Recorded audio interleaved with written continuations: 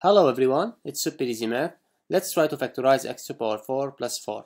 We know that x squared plus 2 all square is equal to, so a plus b square equal to a square which is x to the power 4 plus b square so 2 square equal to 4 plus 2ab so 2 times x squared times 2 equal 4x to the power 2. Now here we have x to the power 4 plus 4 we still need 4x to power 2 to complete square. So we can add 4x to power 2 and subtract 4x to power 2.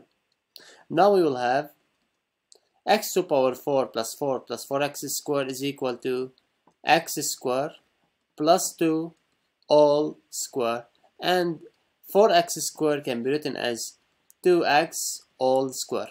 So now we have a squared minus b square which is equal to a minus b multiplied by a plus b.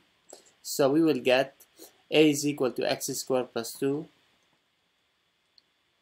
minus b, so minus 2x, and a plus b, so x squared plus 2 plus 2x. If you like the video, please hit the like and subscribe button. Goodbye.